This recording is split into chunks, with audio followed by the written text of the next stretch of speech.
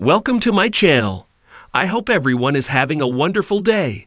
Before starting the video, please go ahead and hit the subscribe button and give this video a like up. There are two episodes left of When Calls The Heart Season 10. In the WCTA Season 10, Episode 11 entitled Long Time Running, Lucas and Elizabeth's wedding day is rapidly coming closer. Lee is even holding a bachelor party for the groom to be, but Elizabeth needs to talk to Lucas about something. As the Hope Valley water crisis morphs into something bigger, Elizabeth starts to spend more time with Nathan, not her fiance. Is Lucas Bouchard going to be blindsided? Here is the latest news about the penultimate episode. This is a pivotal week on When Calls the Heart. There are two episodes left in Hallmark's long running series, WCTA Season 10. In the past few episodes, a lot of things have Hearties talking. Firstly, the governor is behind the group taking away Hope Valley's water. This has made Lucas, Chris McNally, step up. Will he be running for governor now to save the town? It sure looks like it. In the upcoming episode, long time running, it becomes clear that Lucas is their only chance to win this election. He already is well known and has name recognition. But in the exclusive parade preview, he and Elizabeth, Erin Krakow, talk about his press. However, she wants to talk to him about something important. What will she say to Lucas? Does Elizabeth worry about moving from this town that she loves?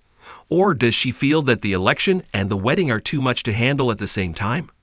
Also, Bill Avery, Jack Wagner, discovers that there may be a legal reason to stop the group from stealing their water. Can he save the town? Meanwhile, Elizabeth continues to voice some concerns about the wedding. All of this recent talk about Jack has made that old pain return. Is she suffering from PTSD? Only Rosemary Pascale Hutten seems to realize how serious this is. Moreover, she is spending a lot of time talking to Nathan, Kevin McGarry, about matters of the heart. Although they are matters of his heart, they are very intimate conversations for this former beau to tell the woman who rejected him. Also, she works so hard to keep Lucas from seeing her wedding dress box, but she allows Nathan to see her in the awful wedding dress. What does this all mean? Most importantly, in another Hallmark preview for the upcoming episode, Nathan asks Elizabeth if she really wants to leave Hope Valley. He reminds her that she never wanted to leave this town. What does she tell him? In WCTA Season 10, Episode 11 Lucas has bachelor party, but will wedding get canceled? As for now, this episode promises a bachelor party with Lee in charge of the festivities.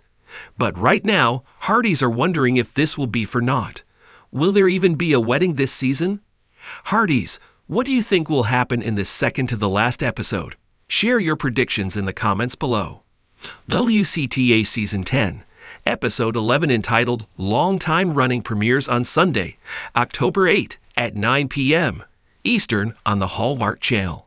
Lucas was getting married, and the town of Hope Valley was abuzz with excitement. As the owner of the saloon and a beloved member of the community, Lucas had won the hearts of many, including his soon to be bride, Faith. With the wedding date fast approaching, it was time for the traditional bachelor party. Chapter 2 The Bachelor Party. The Bachelor Party Planning Committee, consisting of Hickam, Jesse, and Carson, gathered at the saloon to discuss the upcoming festivities. Hickam suggested a camping trip in the nearby mountains, while Jesse proposed a night of poker and whiskey at the saloon. Carson, ever the voice of reason, suggested a combination of both a camping trip followed by a poker game at the saloon. Chapter 3 The Camping Trip Lucas and his closest friends set out for the mountains early one Saturday morning. They pitched their tents by a serene lake, surrounded by towering trees and the soothing sounds of nature. As they sat around the campfire, sharing stories and toasting marshmallows, Lucas couldn't help but feel grateful for the friends who had become like family to him. Chapter 4 The Revelations As the night wore on and the whiskey flowed freely, the conversation turned to more serious matters. Jesse confessed his fears about becoming a father, while Carson shared his struggles with balancing work and family life. Lucas, too, opened up about his own doubts and insecurities, admitting that he was terrified of letting Faith down. Chapter 5 The Poker Game The next morning, they returned to Hope Valley and headed straight to the saloon for a poker game. The atmosphere was lively, with laughter and banter filling the air as cards were dealt and bets were placed. Despite his initial reservations, Lucas found himself enjoying the game, grateful for the distraction it provided from his impending wedding. Chapter 6 The Unexpected Visitor Just as the poker game was reaching its climax, an unexpected visitor arrived at the saloon. It was Faith, looking radiant and determined as ever. Lucas's heart skipped a beat at the sight of her, his worries melting away in her presence.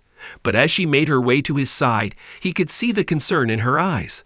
Chapter 7 The Ultimatum Faith wasted no time in getting straight to the point. She had heard rumors about the bachelor party getting out of hand, and she wanted answers. Lucas's friends exchanged nervous glances, knowing that they had crossed a line with their wild antics. But Lucas held Faith's gaze, his love for her shining through as he vowed to make things right.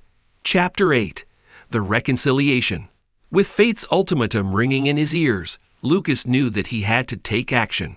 He apologized profusely for his friend's behavior, assuring Faith that he would do whatever it took to salvage their relationship. And as they talked late into the night, their bond grew stronger than ever, reaffirming their commitment to each other. Chapter 9 The Wedding Day As the sun rose on the morning of the wedding, Hope Valley was bathed in golden light, a fitting backdrop for the joyous occasion.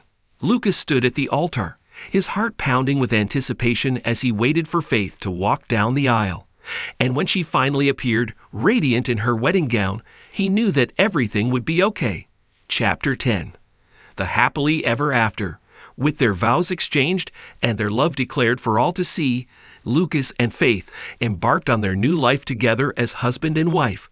And as they danced under the stars, surrounded by their friends and family, they knew that no matter what challenges lay ahead, they would face them together, hand in hand, forevermore.